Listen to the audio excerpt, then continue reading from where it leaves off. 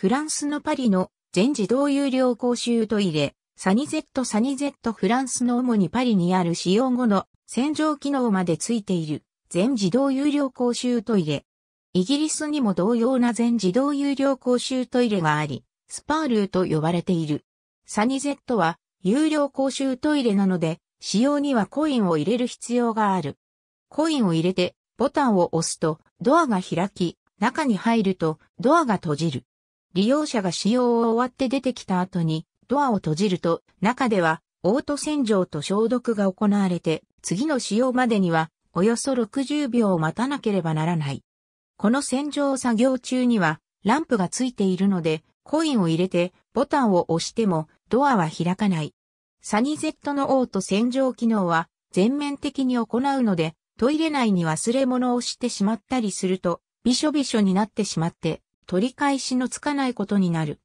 同様にして、使用後ドアを開けて閉じるまでの間に、誤って洗浄中に入ってしまうことも注意を必要とする。フランスでは19世紀の古くからも男子専用公衆トイレがあった。この古いフランスの公衆トイレは、そのカタツムリの殻のような形状デザインからエスカルゴというニックネームで呼ばれていた。そこで新しくできたサニゼットをエスカルゴという旧称の公衆トイレのニックネームで呼ぶこともある。このエスカルゴと呼ばれた古い公衆トイレは非常な悪臭を放ち、パリの街中に至るところにあったために、近代に入り撤去され、全自動有料公衆トイレ、サニゼットに置き換わっていった。最後に残った一つの古いエスカルゴがパリに残っている。この19世紀の公衆トイレは無料公衆トイレだった。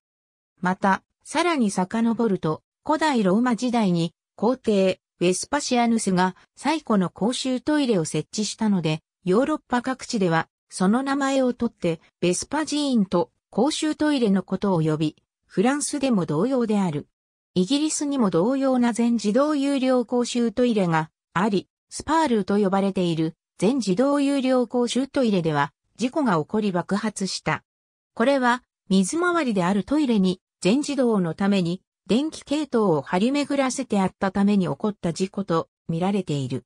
スパールーでは他の事故例として少年が閉じ込められたままになってしまい救助された。この原因は体重センサーが少年のように軽い場合に誤作動したものであると考えられている。全自動は一見便利そうであるが無意味な機能まで全自動化したために起こった事故とも言える。ありがとうございます。